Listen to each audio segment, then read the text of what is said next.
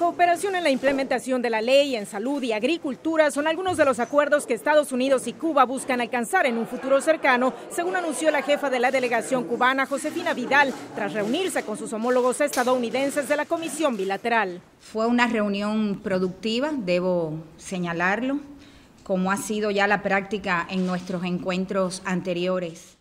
Vidal agregó que prevé un incremento en las visitas a cargo de funcionarios de alto nivel que discutirán, entre otros temas, el de los derechos de propiedad intelectual. La agenda es bastante ambiciosa en cuanto a nuevas acciones, nuevos acuerdos, nuevas visitas, nuevos diálogos. Hay, sin embargo, asuntos delicados como el del embargo comercial y la inmigración ilegal que no se espera sean resueltos antes de que el presidente de Estados Unidos, Barack Obama, deje el cargo.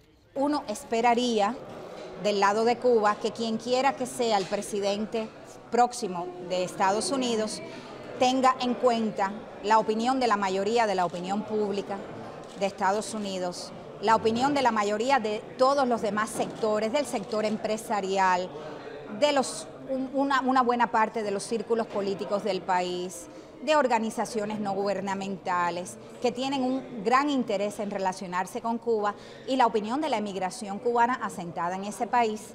Ambos gobiernos afirman que hasta el momento han hecho significativos avances para aumentar la cooperación en asuntos como la educación, el medio ambiente y la cultura, entre otros.